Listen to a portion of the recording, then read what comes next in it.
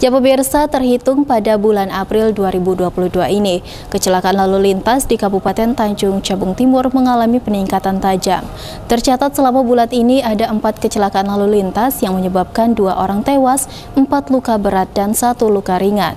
Rata-rata laka lantas ini disebabkan kurangnya konsentrasi sopir dalam berkendara dan kecepatan tinggi.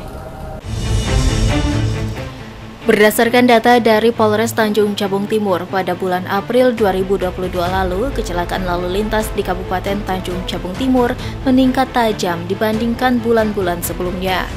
Berdasarkan hasil olah TKP Satlantas Polres Tanjung Jabung Timur, kecelakaan didominasi karena kurang konsentrasi sopir saat membawa kendaraannya.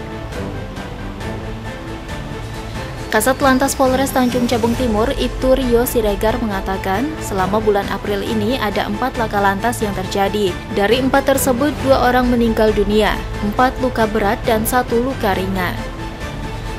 Dirinya juga mengimbau kepada seluruh masyarakat Tanjung Jabung Timur, terkhusus para pengendara roda 2 maupun roda 4, agar berhati-hati dalam berkendara.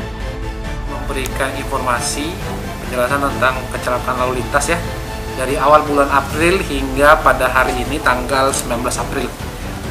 Kita terhitung di data kami ada terjadi empat kejadian laka lantas yang mengakibatkan dari total empat ini dua orang meninggal dunia.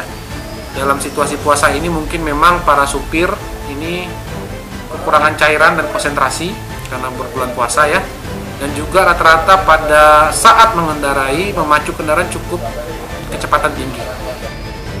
Wahyu Mubarok, Cek TV melaporkan.